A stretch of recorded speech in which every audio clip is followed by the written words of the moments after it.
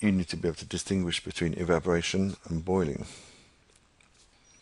Now, we know when we have a liquid that there are many different molecular speeds. Here we have a, a, little graph to show a little graphic the distribution of the speeds of the different particles. We have very few moving at a very high speed, um, more moving at an intermediate speed, a great number in a fairly slow speed, and very few at a very slow speed.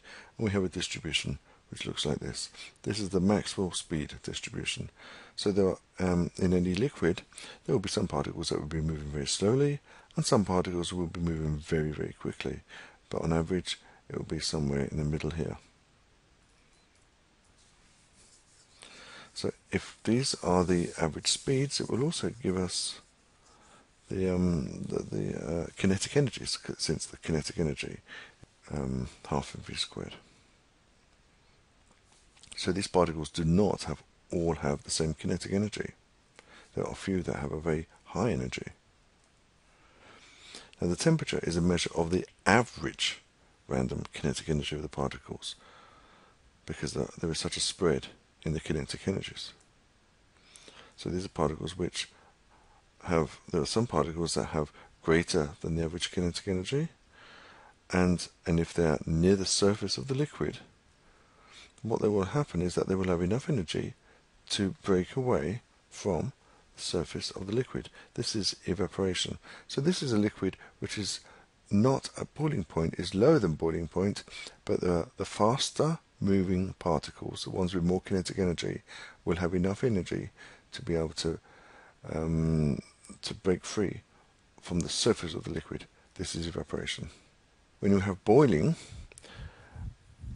what happens is all the thermal energy supplied goes to increasing the potential energy of the particles, not to raising it. It reaches a maximum temperature. So there's no temperature rise and it only changes state.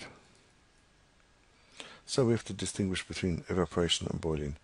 Both occur when the liquid changes state from liquid to gas because energy is needed and it turns into uh, and it's given to the potential energy Evaporation happens at a range of temperatures up to the boiling point.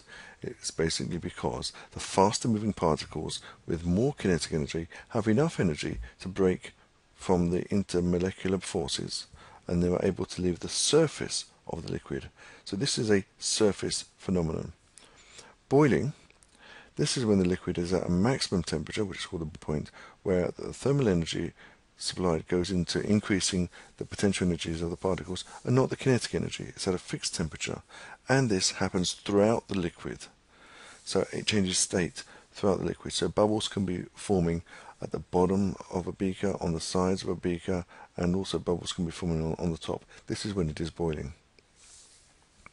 If more thermal energy, it only increases the potential energy of the particles. In other words, causes a change of state or more bubbles.